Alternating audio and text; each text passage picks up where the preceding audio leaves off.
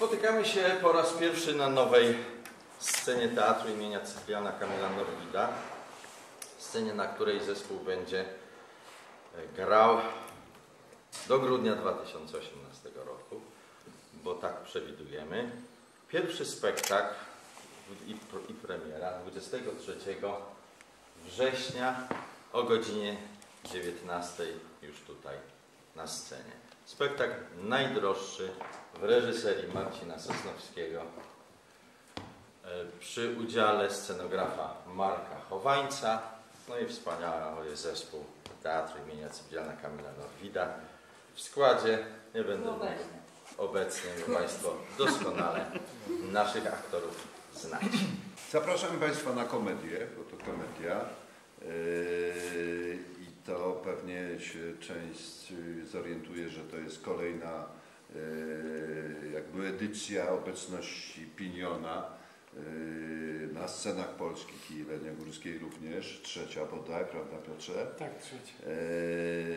No więc mamy za sobą już mamy jakieś tak zwane zaszłości, czyli mm, możemy się orientować że będzie wesoło, ale trzeba powiedzieć od razu, że, że prawda, autor Weber korzysta głęboko z, yy, z dorobku komediopisarzy francuskich typu Beaumarchais Molière jest również moralistą.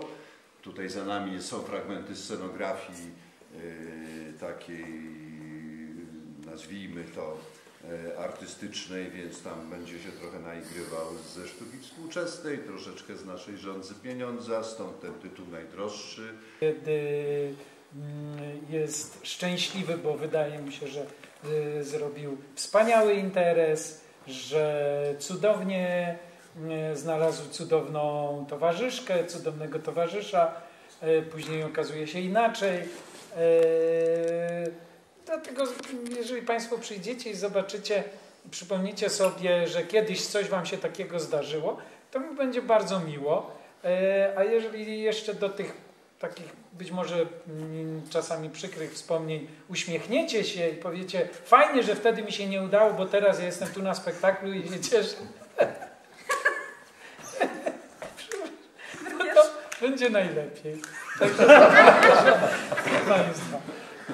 Piotr nie ja, musi grać François tak, Pignona, on jest François. Nie mogę tego wyjaśnić taką tajemnicę. do końca, to, to wszystko się wyjaśni na spektaklu. Ja to wyjaśnię. Na razie, na razie jest mi trudno, bo ja wiem o co chodzi. Znaczy, nie wiem, może, może ma, o, moja była żona, może to wyjaśni, ona mnie dobrze zna. Tak, znaczy po raz kolejny jestem byłą żoną François Pignona. To jest, tylko tym razem go naprawdę chyba jednak nie kochałam. Nie. Co? No właśnie wszyscy, ale my nie wierzymy ci. To widać w oczach, że ona mnie kocha. Kochała mnie w...